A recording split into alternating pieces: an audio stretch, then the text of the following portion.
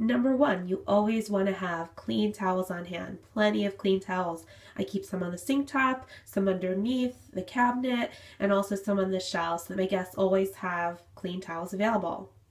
Number two, have little toiletries available for your guests. I like to fill a jar with travel size toothpaste, shampoo, lotion, floss, little packets of things and tissues so that the guests have the comforts of home, away from home, or things that they might have forgotten. Number three, a clean, fresh bathroom is an inviting one for guests. So make sure your bathroom has gotten a good scrub down prior to guests arriving and that it's clean and keep it smelling fresh with things like diffusers or candles.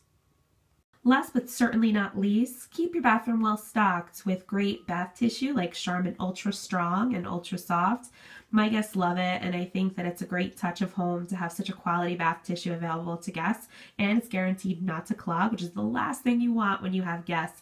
I also keep things like a extra blow dryer, curling iron, and other essentials underneath the cabinet for guests to take as they need.